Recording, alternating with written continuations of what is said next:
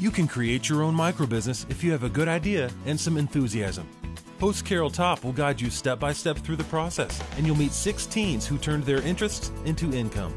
Watch Microbusiness for Teens, starting a microbusiness.